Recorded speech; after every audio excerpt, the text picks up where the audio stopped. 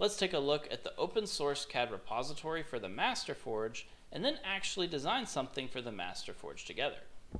Our community is full of so many different creative and competent makers that when we went out to create the Forge keyboard ecosystem, we didn't want it to just be the most customizable keyboard, but also the world's most moddable keyboard.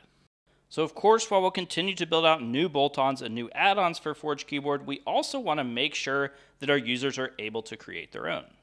That's why I'm so excited today to announce the official Forge Keyboard CAD repository where all of our users can download, build, and design their own components for the Forge ecosystem for free.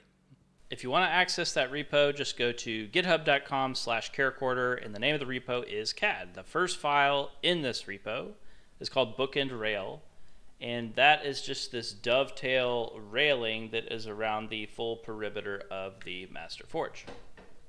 So just take that CAD file and pop it in whatever software you feel like using it with. I got SolidWorks open here, and today I'm going to pretend that I am a user that is wanting to develop a custom bolt-on for my device.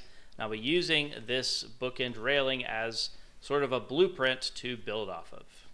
So my simple bolt-on idea is this. I would like to fasten both halves of the device together and simultaneously be able to accommodate uh, varying degrees of slope, negative slope, as well as tent.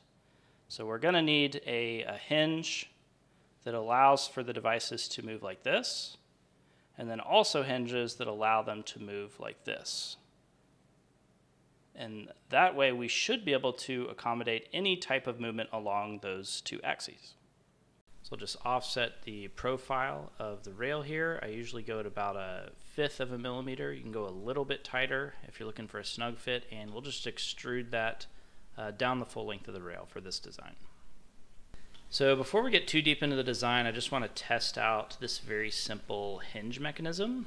I went ahead and printed this prototype. So we've got a uh, M3 socket head screw passing through these teeth. We've got a brass embed on the bottom. And we just want to test out that with varying degrees of tightness, where we have that range of motion and the resistance which we would expect for a part like this. And we can just test it out on the actual bookend rails, um, playing around with it, and just kind of making sure everything feels right. I don't think we need to linger here. This is pretty good. I might adjust the spacing between these teeth very slightly, but um, but this is this is good. There's enough to move forward for sure. And we're going to offset those teeth for the inner hinge, and we'll have some uh, slightly thicker and longer teeth propping up our z-axis here.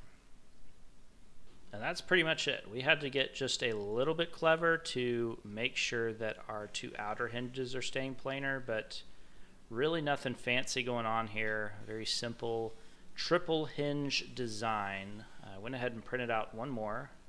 So our three hinges, we have the center, then we have the right, and we have the left. Just a couple more changes um, I want to make, and then we'll test one on the actual device here shortly.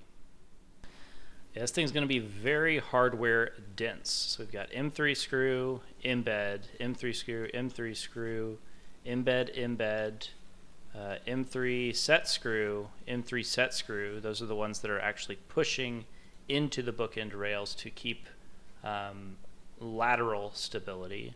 And then we've also got uh, added a couple of threaded shoots here for lifters uh, to be able to support. And I'll demonstrate that uh, after this thing comes out. Well, let's put it together.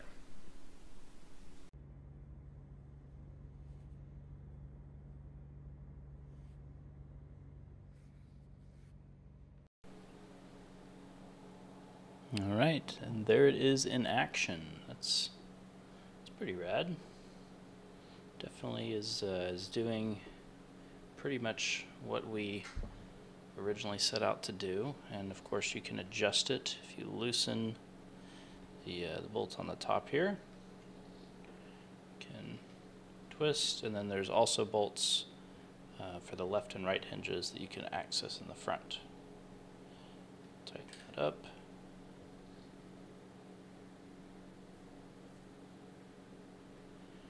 And do a little bit of typing on it.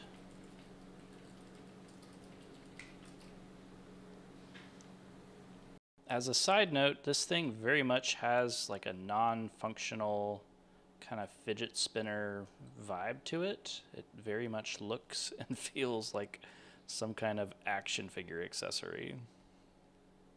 Just uploaded them into the GitHub, so if you want to take a look at the Omni Bridge, as I have just named it, you can go check it out there. So there you have it. Let me know in the comments what your idea is for the next great Forge bolt-on or add-on so we can work on it within the repo together. Thanks so much for watching. This is week 32 of CharaChorder updates every week until the whole world can type at the speed of thought.